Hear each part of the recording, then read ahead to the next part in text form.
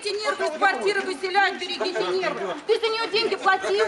Нет. Я вот приду тебя, выселим, я посмотрю на тебя. Эти кадры сделаны в июне прошлого года. Около десятка мужчин спортивного телосложения в сопровождении судебных исполнителей и представителей правопорядка выносят вещи жильцов из дома номер 14 по улице Молодых Строителей. Светлана Дымова купила тут квартиру 6 лет назад. С того момента ее жизнь превратилась в сплошное судебное разбирательство, говорит женщина.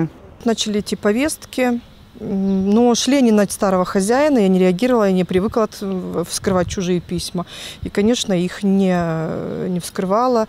Мало ли, какие у человека дела. А через, еще через год уже пошли повестки на меня.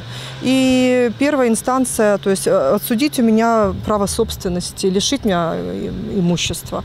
Квартиру покупала через банк, и я была полностью уверена, что это гаранты моего, моей безопасности. Судебные повестки о лишении права собственности получили 19 семей. Юрий Шестов рассказывает, в 98-м этот дом построили совместными усилиями людей и подрядчиков. Но в 2002 году компания застройщика обанкротилась. Обанкротившаяся фирма «Маяк» значит, забирает права на строительство этого дома и, собственно, на собственность этого дома у всех жильцов, которые внесли свои деньги, реальные деньги на строительство, будучи дольщиками этого строительства.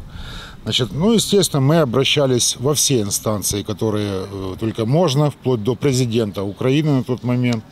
Вот. Приходили стандартные отписки, что значит, э, обращайтесь в суды, решайте вопрос в судах. Люди показывают стопки всевозможной документации, обращения в суд, прокуратуру и другие правозащитные инстанции. Более 10 лет они обивали пороги чиновников. Игорь Сердюков говорит, недавно обратились и к нынешнему руководству города. Надежда на помощь оправдалась. Судебная инстанция вынесла решение о том, что российская прокуратура не является правоприемником украинской.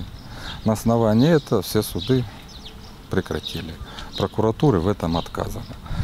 По российским законам в ликвидацию прокурор войти не может, в ликвидационную процедуру. Поэтому прокуратура и благодаря, спасибо губернатору, юридическая служба разобралась в этом делом и вынесла решение признать те неправомерные документы о праве собственности, на основании которых маяк получил право собственности, недействительны. Для законного оформления документов жильцам еще предстоит доказать свои права собственности в судебном порядке. Кира Калинина, Денис Александрович, программа «Наше время».